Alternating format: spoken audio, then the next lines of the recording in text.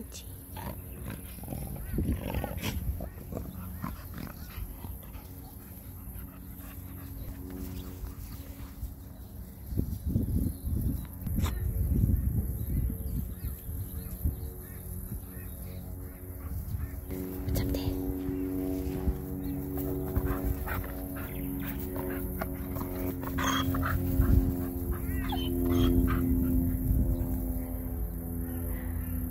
How you going guys? Curtis from Cutting Edge Engineering. So today's job is part two of our 140M grader repair. If you missed part one where we put a skin on the blade and changed out the trunnion balls, there'll be a link in the description below. So what we need to do today, we need to remove the blade lift cylinders and the steer cylinders because they need to be resealed.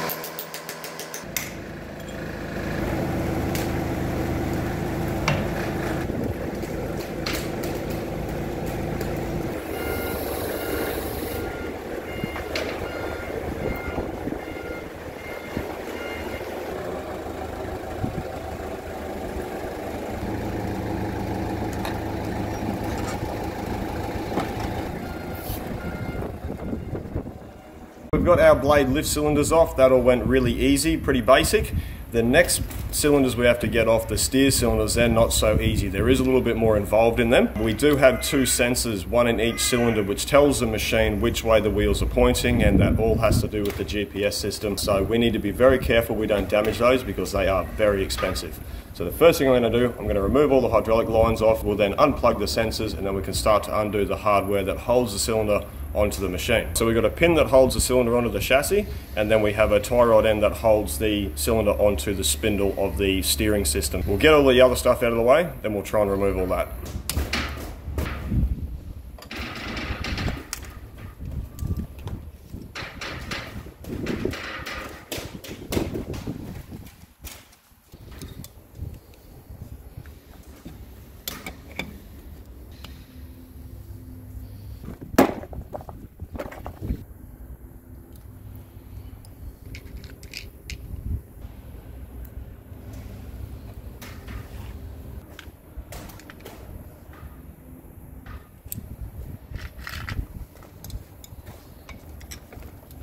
office.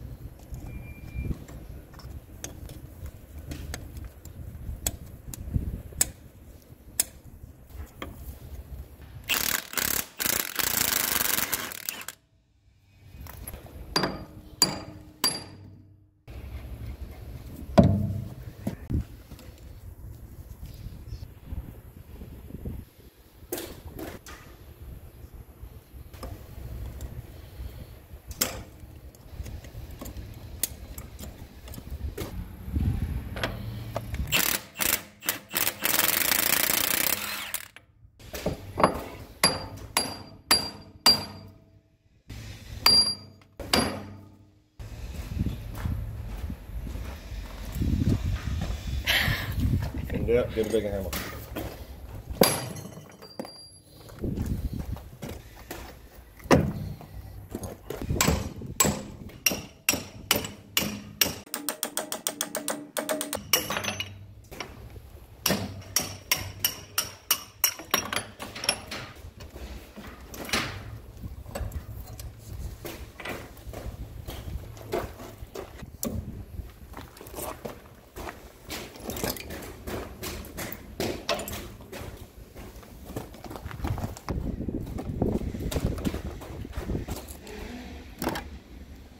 Righto guys, so we've got the steer cylinders off. I do need to change out the bearings in the main frame. They are a spherical bearing. The customer has supplied new bearings and pins for those. We will refit the bearings after we reassemble the cylinders.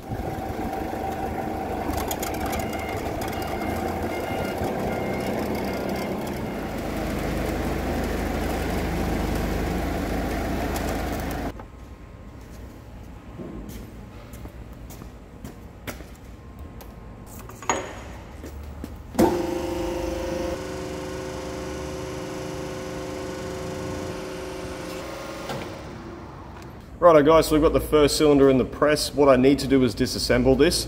I need to be very cautious. There is a sensor inside that is very delicate and if I upset that, they're very expensive to get them replaced and then recalibrated back to the machine. The reason these are off the machine for a reseal is they are leaking.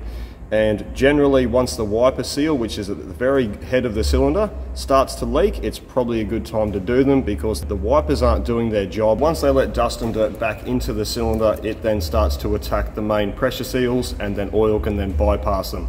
But if dirt can get in and oil can get out, there are contaminants going back through the rest of the machine. Very good time to do them. So we'll get them disassembled, get them cleaned up. Once we've got them stripped and cleaned, we can then reassemble both of the cylinders. But while I'm doing the cleaning, I do need to replace the ball studs in the tie rod ends because they are very loose.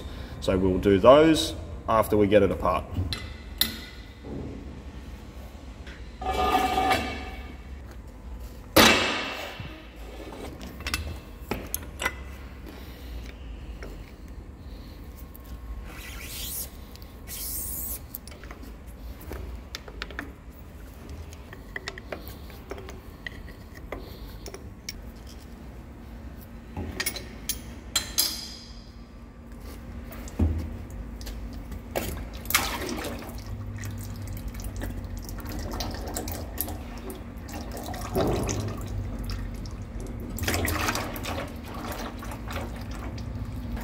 That's the all-important sensor.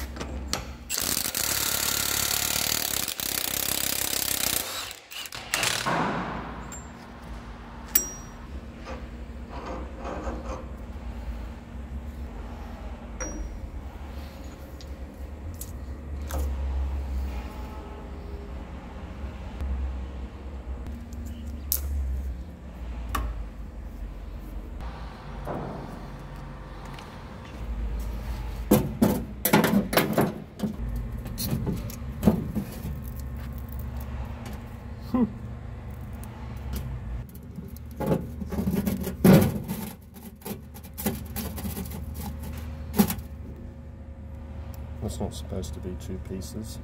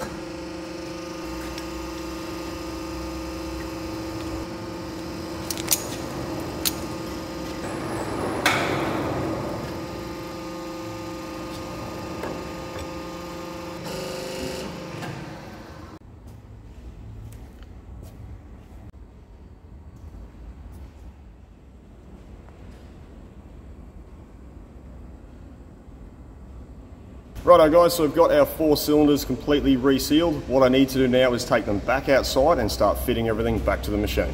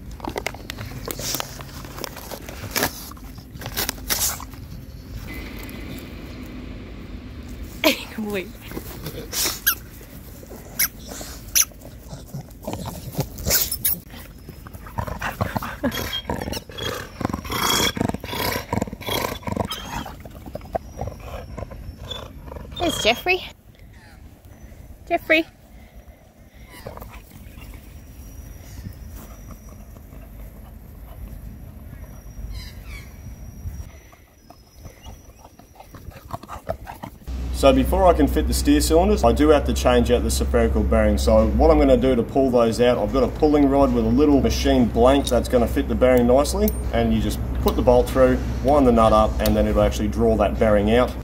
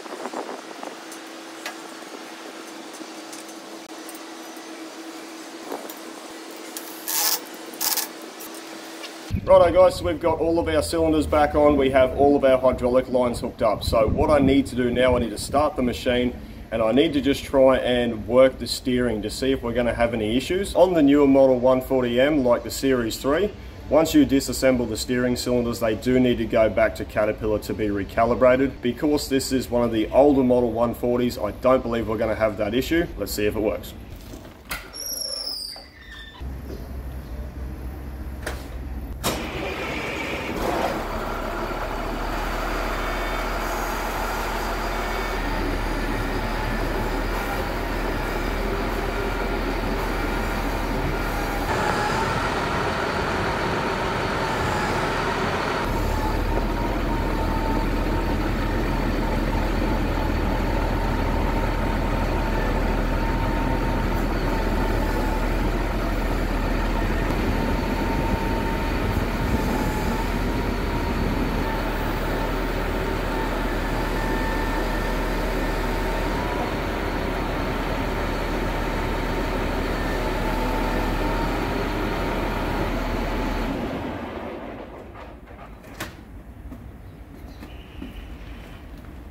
So we fired her up, we've got the steering doing everything. We did get an alarm, but we were able to get past that if you just isolate the steering. So what I need to do now, I need to reattach the blade lift cylinders down to the A-frame. Once we get them down, we can then put in the correct number of shims, tighten everything up, and then we need to do the center shift cylinder.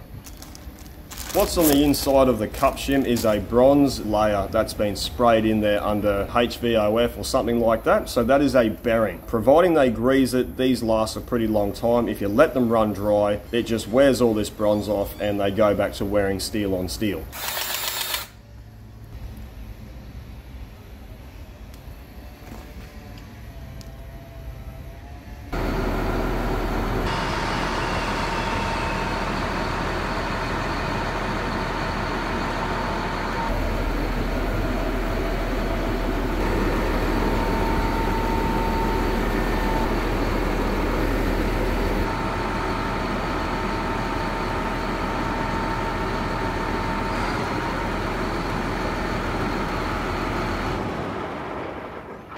Shimming out the ball trunnions on the bottom of the blade lift cylinders.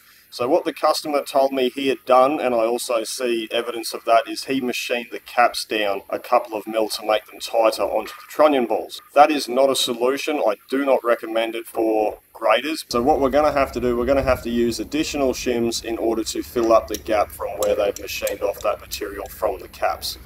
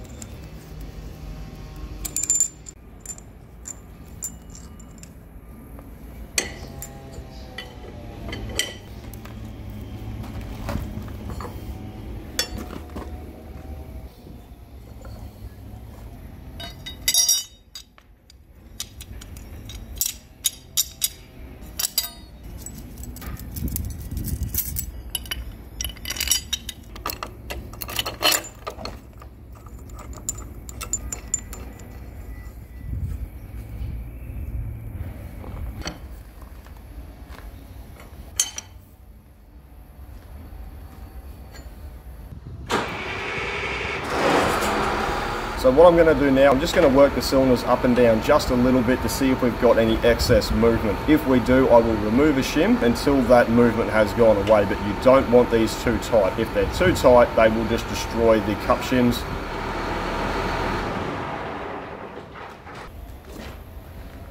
So we've done our test, there is no excess movement in there. I did have to add one extra shim to this side. Happy where they are, we're just gonna grease them and then we're gonna nip up the bolts, make sure everything's nice and tight.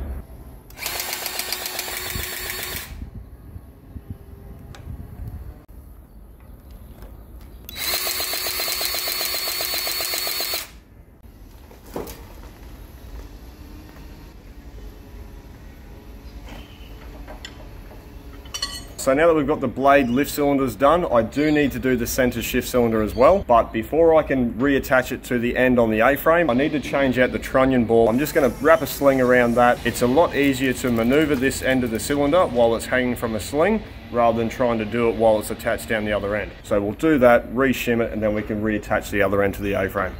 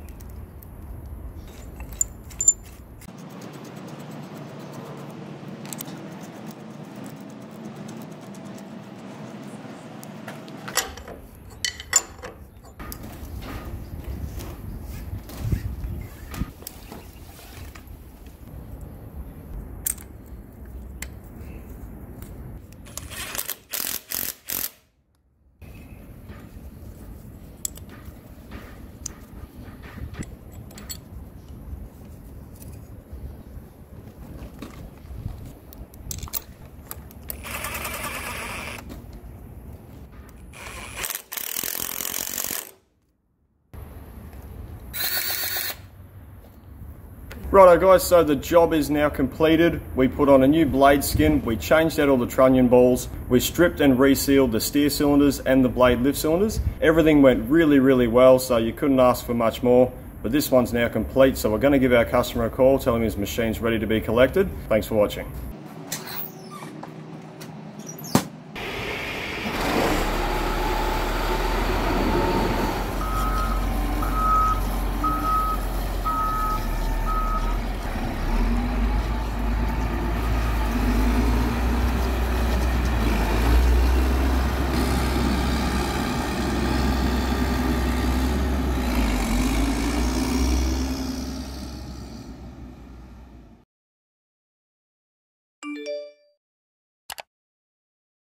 Are you ready? Yeah. You ready? Yeah. You ready? Yeah. You ready? No. Are you ready? Are you ready? Yes. Go. So what we need to do to hang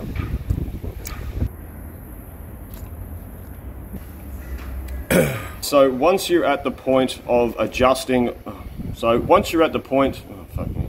Righto guys, now we've got our trunnion caps on. Oh. So now what we're gonna do, I've, oh, what, have I done? Right, well, I'm studying. So what we need to do today, oh, that didn't sound right. Did it sound right? Could get spurted here.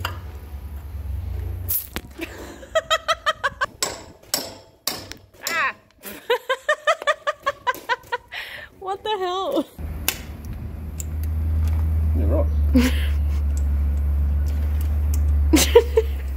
Good.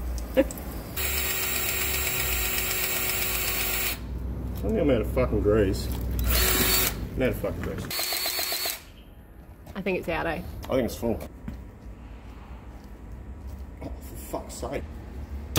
Whoops. I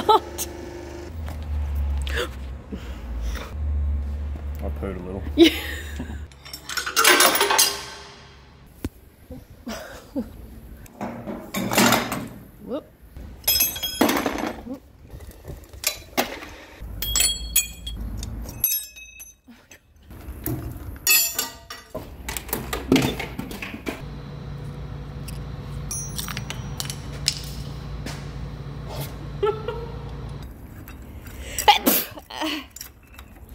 After we've done that,